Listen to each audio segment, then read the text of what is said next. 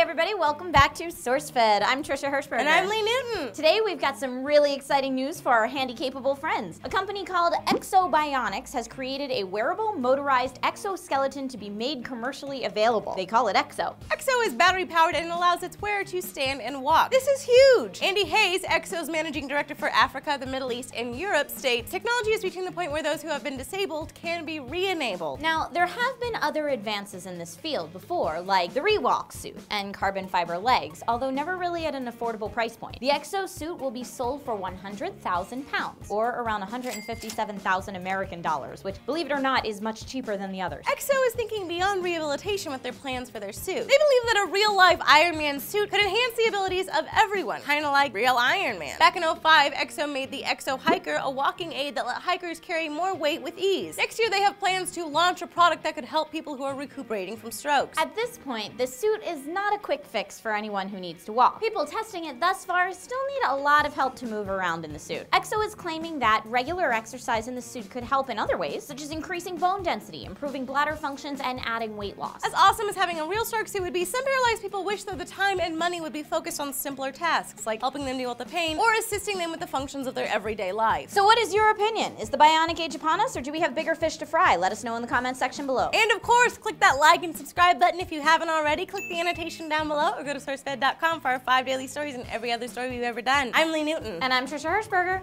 I want an Iron Man suit.